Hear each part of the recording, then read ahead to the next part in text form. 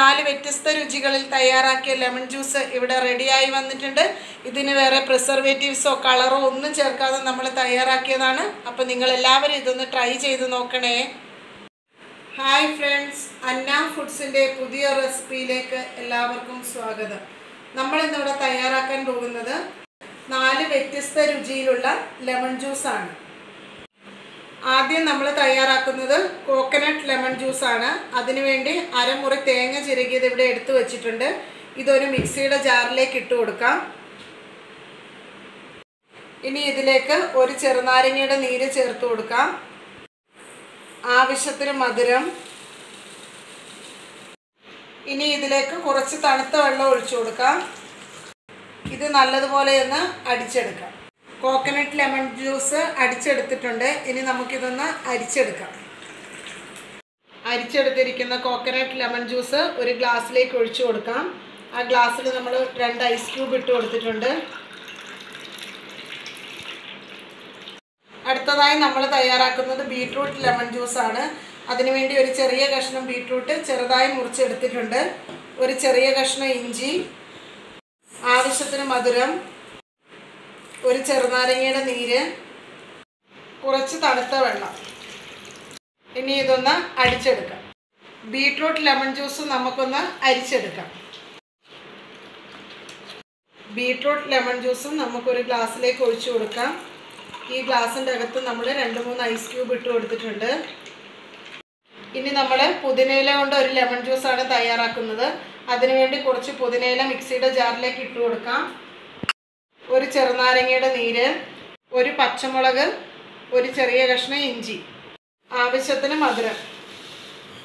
ഇതിലേക്ക് ഒരു പിഞ്ച് ഉപ്പ് ചേർത്ത് കൊടുക്കാം. തണുത്ത വെള്ളം.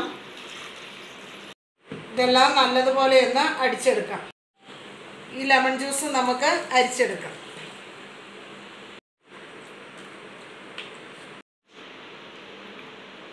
പുതിനയിലെ ലെമൺ ജ്യൂസ് നമുക്ക് ഒരു ഗ്ലാസ്സിലേക്ക് ഒഴിച്ചു കൊടുക്കാം.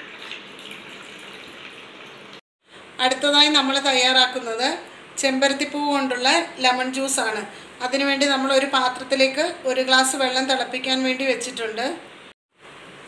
വെള്ളം തിളച്ച് വരാൻ തുടങ്ങിയിട്ടുണ്ട്. ഇനി ഇതിലേക്ക് നമ്മൾ എടുത്തു വെച്ചിരിക്കുന്ന ചെമ്പരത്തിപ്പൂവ് ഇട്ട് കൊടുക്കുക. ഈ ചെമ്പരത്തിപ്പൂവിന്റെ ആ നടുക്കുള്ള പൂവ് കളഞ്ഞിട്ടാണ് എടുക്കുന്നത്. ഈ ഭാഗമാണ് കളയേണ്ടത്.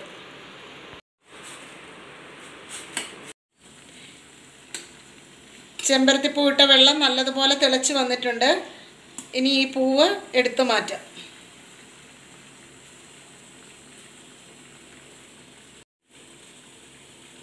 ഇനി ഇതിലേക്ക് ഒരു ചെറുനാരങ്ങയുടെ നീരും കൂടെ ചേർത്ത് കൊടുക്കാം.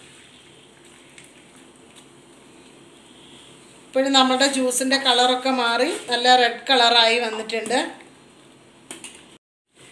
ഇനി ഇതിലേക്ക് ആവശ്യത്തിന് മധുരവും കൂടെ ചേർത്ത് കൊടുക്കാം. ഇതെല്ലാം ഒന്ന് മിക്സ് ചെയ്ത് കൊടുക്കാം. ഇനി നമുക്ക് ഫ്ലെയിം ഓഫ് ചെയ്തിട്ട് തണുക്കാൻ വേണ്ടി മാറ്റി വയ്ക്കാം നമ്മൾ തണുക്കാൻ വേണ്ടി മാറ്റി വെച്ചിരിക്കുന്ന ചെമ്പരത്തിപ്പൂവും ലെമൺ ജ്യൂസ് തണുത്ത് വന്നിട്ടുണ്ട്. ഇനി നമുക്കിത് ഒരു ഗ്ലാസ്സിലേക്ക് മാറ്റി കൊടുക്കാം. അങ്ങനെ നമ്മൾ നാല് വ്യത്യസ്ത രുചികളിൽ തയ്യാറാക്കിയ ലെമൺ ജ്യൂസ് ഇവിടെ റെഡിയായി വന്നിട്ടുണ്ട്. അപ്പം നിങ്ങളെല്ലാവരും ഇതൊന്ന് ട്രൈ ചെയ്ത് നോക്കണേ. നിങ്ങൾക്ക് എന്റെ ഈ വീഡിയോ ഇഷ്ടമായിട്ടുണ്ടെങ്കിൽ ഷെയർ ചെയ്യാനും ലൈക്ക് ചെയ്യാനും കമന്റ് ചെയ്യാനും സബ്സ്ക്രൈബ് ചെയ്യാനും മറക്കരുത്. താങ്ക്